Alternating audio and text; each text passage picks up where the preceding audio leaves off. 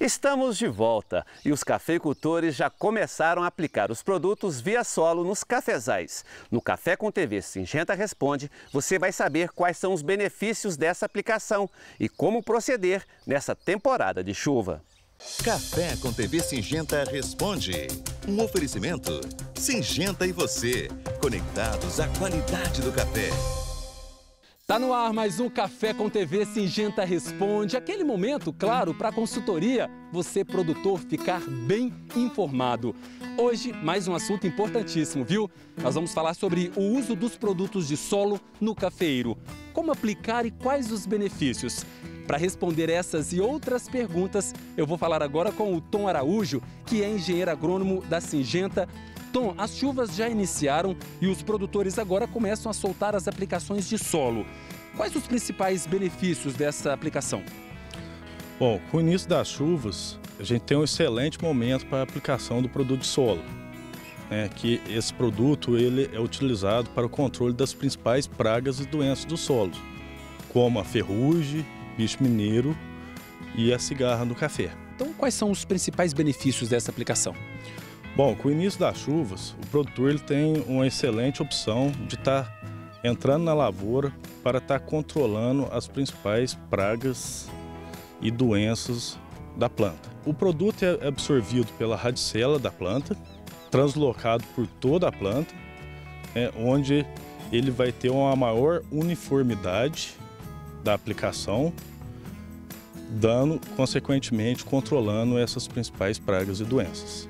Ou seja, temos a maior facilidade de aplicação, uniformidade e proteção de toda a planta. Bacana, Tom. Existe mais algum outro tipo de benefício com essa aplicação? Existe sim.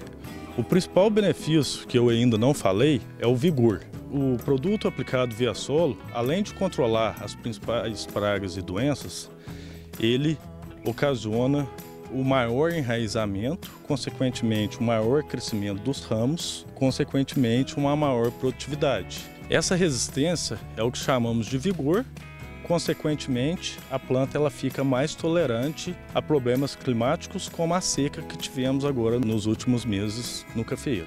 Tom, muito interessante, hein? Agora, é fácil fazer essa aplicação e quais os cuidados que devem ser seguidos para uma aplicação bem feita?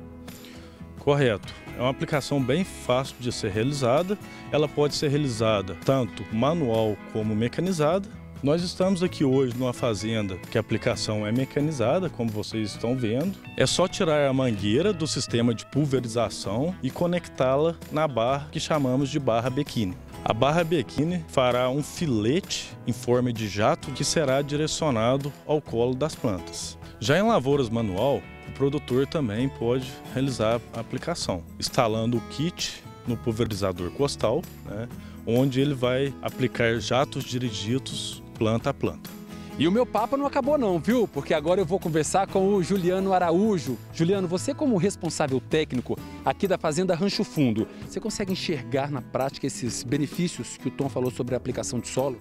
Não, com certeza. Aqui na Fazenda nós somos usuários do Verdadeiro há quase 20 anos né? E eu também recomendo para meus outros clientes de consultoria. Né? A gente está muito satisfeito com o produto, né? É, além de, de, ter um controle satisfatório de pragas e doenças do café, ele também confere à planta um bom vigor, né? um efeito tônico que confere um bom vigor, melhor enraizamento e, consequentemente, uma melhor condição de atravessar né, bem nas adversidades climáticas. O resultado, então, é visível. É visível, a gente está muito satisfeito. E o Café com TV Singenta Responde dessa semana fica por aqui. Obrigado, Juliano. Obrigado, Tom. Espero que você de casa tenha gostado, porque semana que vem tem mais. Café com TV Singenta Responde. Um oferecimento. Singenta e você, conectados à qualidade do café. A Embrapa e a EPAMIG estão pesquisando uma nova metodologia de mapeamento das áreas produtoras de café. Acompanhe. A nova metodologia usou um satélite como acessório para analisar imagens e conseguir mapas de uso da terra como foco nas áreas ocupadas pela cafeicultura. Os resultados do projeto mostram uma alternativa para agilizar e também deixar mais barato o acompanhamento do uso da terra em diferentes regiões produtoras do país.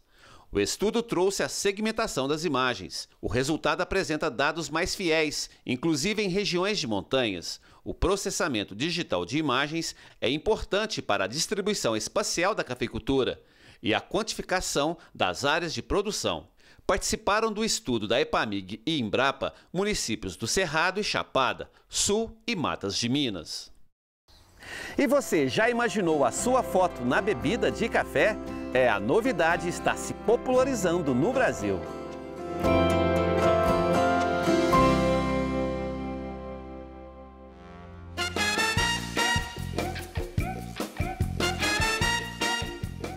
Café customizado de um jeito diferente vem se espalhando nas redes sociais, como o TikTok, nos últimos dias.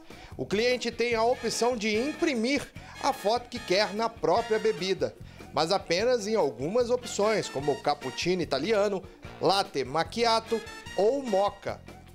A bebida com essa impressão fica a 22 reais. Para ter a foto estampada, a imagem é enviada pelo WhatsApp na hora do pedido.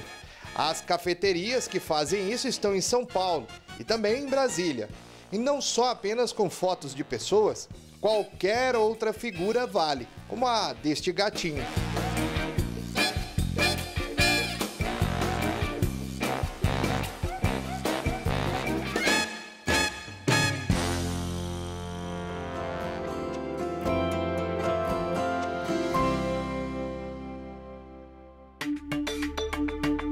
Produtores de café que sofreram com as geadas este ano receberão um auxílio do Fundo de Defesa da Economia Cafeeira.